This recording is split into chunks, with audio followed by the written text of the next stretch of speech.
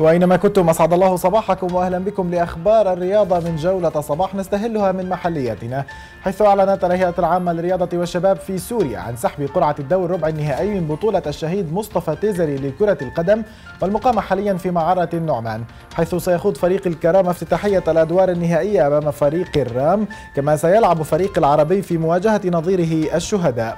وسيواجه فريق الأرجنتين وفريق الفاضل فيما يختتم الدور ربع النهائي بمباراة الأهلي مع اتحاد حيش.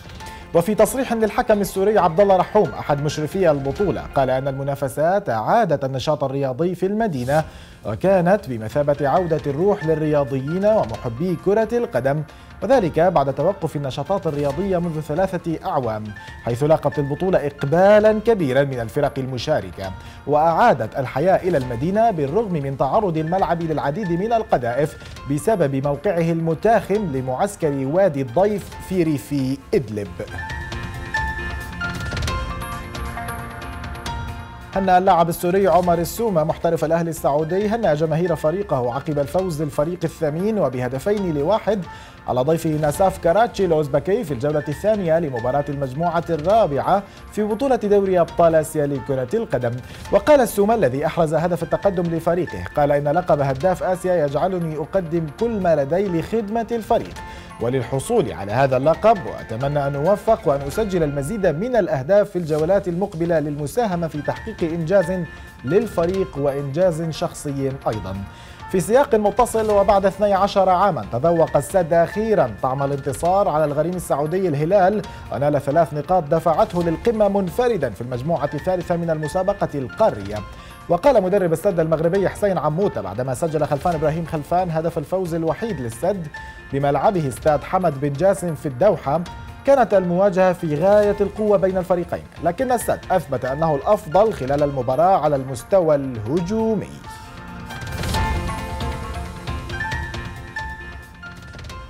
من آسيا إلى القارة العجوز وتحديدا إنجلترا حيث اقتنص تشيلسي بطل كأس الرابطة ثلاث نقاط صعبة. من نظيره ويست هام على ملعب أبتون بارك يعزز بها صدارته بفارق خمس نقاط عن صاحب المركز الثاني مانشستر سيتي ضمن منافسات الجولة الثامنة والعشرين من بطولة الدوري الإنجليزي الممتاز لكرة القدم. وأحرز هدف تشيلسي الوحيد أيضا هازارد في الدقيقة الثانية والعشرين. بينما واصل أرسنال سلسلة عروضه الجيدة بفوز صعب خارج أرضه على كوينز بارك رينجرز بهدفين لواحد. تقدم الجانرز بهدفين لأولفييه جيرو وأليكسيس سانشيز في الدقيقتين الرابعة والستين والتاسعة والستين قلص تشارلي أوستن الفارق بهدف لكوينز بارك في الدقيقة الثانية والثمانين. بهذا الفوز حققت كتيبة أرسن فينجر انتصارها الرابع على التوالي ليرفع أرسنال رصيده إلى 54 نقطة. وأنقذ تيمي كرول حارس نيوكاسل خصمه مانشستر يونايتد من ورطة حقيقية. وذلك عندما صنع هدف الفوز لضيوفه بالدقيقة قبل الأخيرة عبر أشلي يونغ. فيما واصل ليفربول صحوته الإيجابية في 2015 وحقق فوزا سهلا على ضيفه بيرنلي بهدفين نظيفين.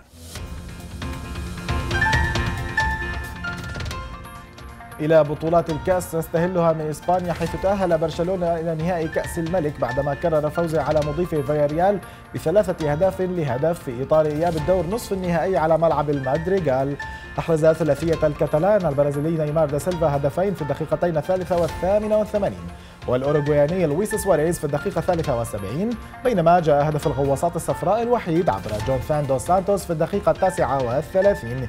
ليتأهل البرشا إلى نهائي المسابقة بعد تفوقه بمجموع مباراتي الذهاب والإياب بستة أهداف لهدفين. وليضرب موعدا مع أتلتيك بيلباو والذي بدوره تخطى عقبة ضيفه اسبانيول بهدفين نظيفين بعد أن تعادلا ذهابا بهدف لمثله. من إسبانيا إلى إيطاليا حيث نجح نابولي حامل اللقب في تحقيق تعادل مهم مع مضيفه لاتسيو بهدف لمثله في اللقاء الذي أقيم بين الفريقين على الملعب الأولمبي بالعاصمة روما في ذهاب نصف النهائي لكأس إيطاليا. وفي انتظار حسم اسم الفريق المتأهل المباراة النهائية الشهر المقبل عندما يلتقي الفريقان في ملعب سان باولو بمدينة نابولي لمواجهة الفائز من يوفنتوس وفيورنتينا اللذان سيلعبان في تورينو لقاء الذهاب. وبالعودة للمباراة افتتح لاتسيو التسجيل عبر لاعبه المخضرم الألماني ميروسلاف كلوزي في الدقيقة الثالثة والثلاثين. وتمكن لاعب نابولي مانولو جابياديني من إدراك التعادل في الدقيقة السابعة والخمسين.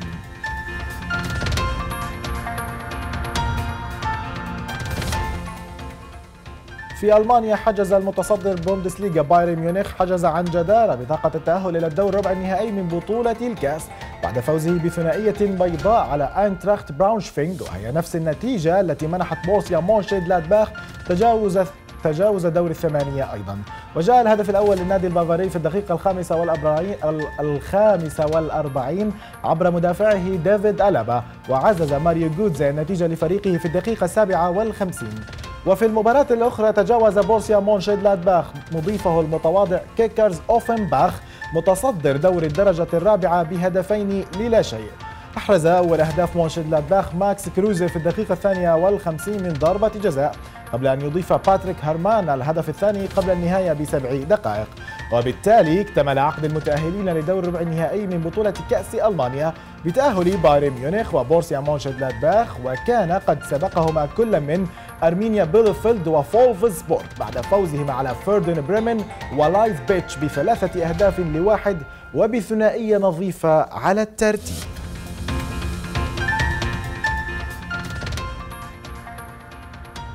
من ألمانيا إلى فرنسا حيث تمكن باريس سان جيرمان وصيف الدوري حاليا من كسر مسلسل التعادلات مع منافسه موناكو أخيرا بعدما نجح بالفوز على ضيفه بهدفين نظيفين على ملعب حديقة الأمراء بارك دي برانس في مباراة الدور ربع النهائي لبطولة الكأس.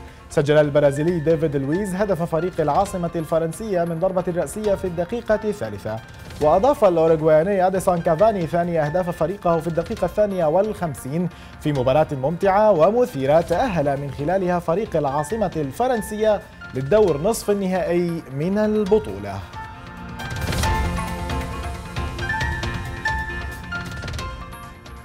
2022 موعد مونديال قطر لكنه أيضا موعد دورة ألعاب الكومنولث.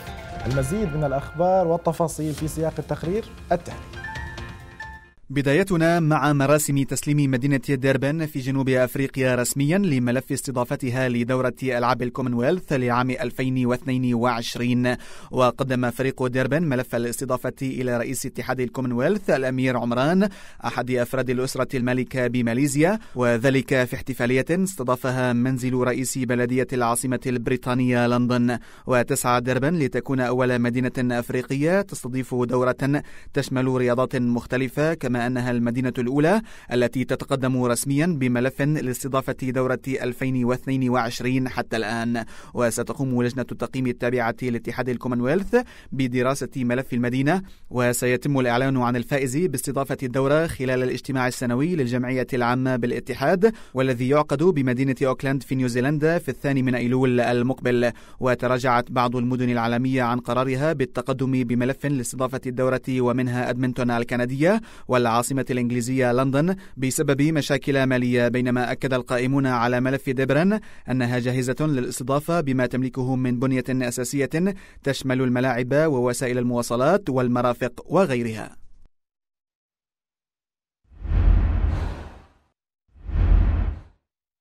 ونتحول إلى البيرو حيث أعلن اتحاد كرة القدم هناك تعيين الأرجنتيني ريكاردو غارسيا مدربا للمنتخب الوطني لكي يقوده خلال بطولة كوبا أمريكا والتصفية المؤهلة لنهائيات كأس العالم المقبلة 2018 وصرح غارسيا قائلا إنها مسؤولية ضخمة وأقبل التحدي وأنا سعيد مع علمي بأنها مهمة صعبة لكنها لن تكون مستحيلة. عندما تكون لديك كل هذه العناصر التي يمتلكها الفريق بالفعل وهو ما دفعني لاتخاذ اتخاذ القرار. وستكون أول تجربة يخوضها المنتخب البيروفي مباراة ودية أمام فنزويلا في ميامي في الحادي والثلاثين من أذار الحالي. وستلعب البيرو في المجموعة الثالثة في بطولة كوبا أمريكا التي تنطلق في الحادي عشر من حزيران المقبل مع منتخبات كولومبيا وفنزويلا والبرازيل.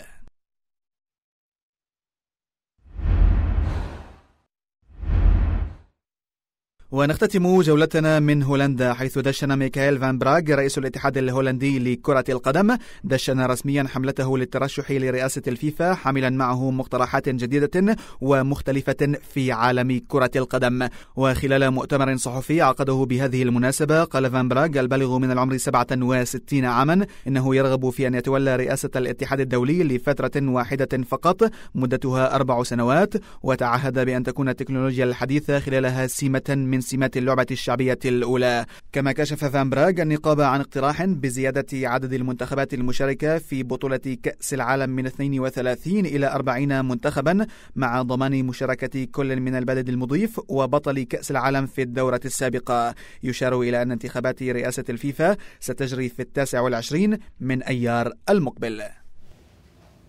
إذا بعد جولة على بطولات الكأس في أوروبا نهائي كأس إسبانيا سيكون بين فريقين الأكثر تتويجا باللقب برشلونة ووصيفه أتلتيك بلباو من عدد الألقاب. طبعا نتكلم لكن أعرج سريعا على المباريات في دوري أبطال آسيا مواجهات عربية آسيوية خليجية متكررة.